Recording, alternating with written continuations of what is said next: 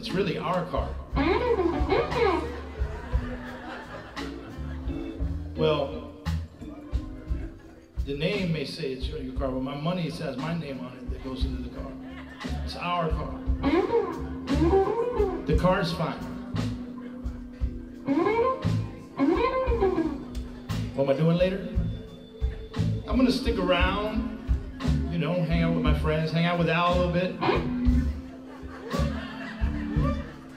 Me and Al are gonna chill out later, and we're gonna hang out.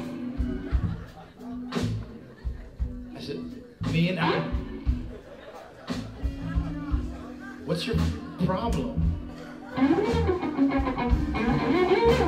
You don't want me to hang out with Al and drive your car? Man, that's fun.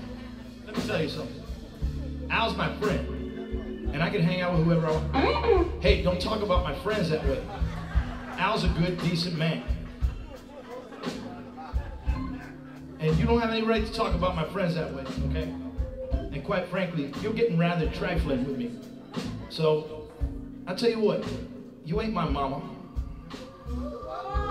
That's right. You'll get me in trouble.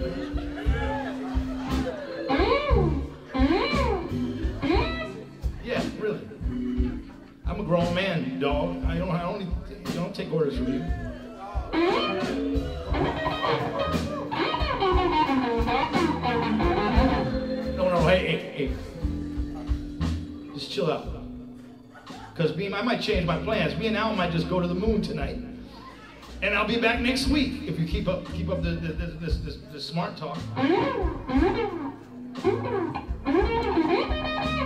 No, what are you doing tonight?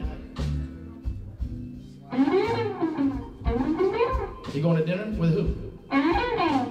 Your lawyer?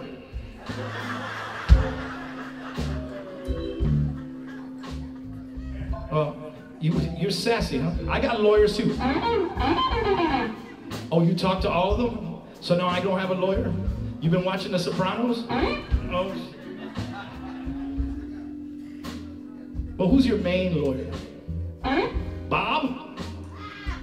Bob Amzell, the guy who used to play drums with me? Is he still mad that I hired Brian to play with me?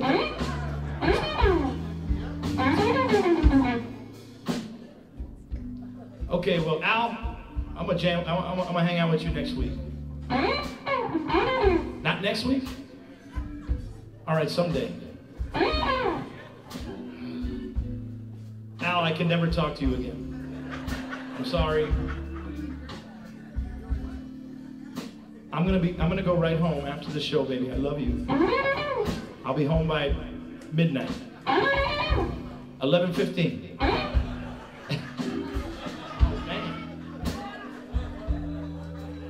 Maybe you should be your own lawyer.